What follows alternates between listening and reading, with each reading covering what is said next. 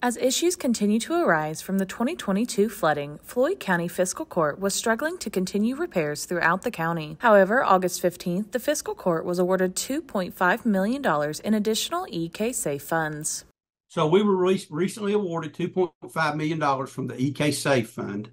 The EK Safe Fund was established uh, after the, the, the, flooding in 2022. That was set up to uh, help the counties uh, that were affected by the flooding. That was approximately $212 million. That, that money was uh, depleted, used. So we went back to the legislators in the final days of this past session and we told them, hey, we, we, we've got needs, unmet needs. We need some additional funding.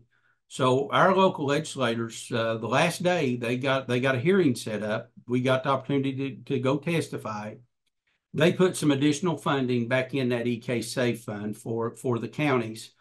Grab up the back to school tech bundle from Appalachian Wireless. Save up to $850 off. Choose from select iPhones in all sizes, iPad 9th and 10th gen, and any Apple Watch with a two year contract on the Mix and Match or Appalachian Advantage plan. We are you. We are Appalachian Wireless.